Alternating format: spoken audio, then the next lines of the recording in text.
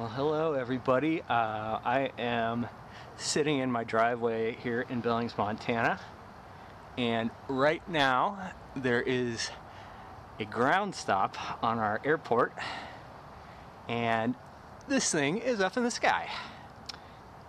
And I have no idea what it is. It's been there stationary for about the last 35 minutes.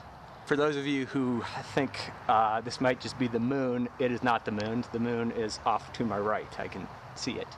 Uh, this is significantly smaller than the moon.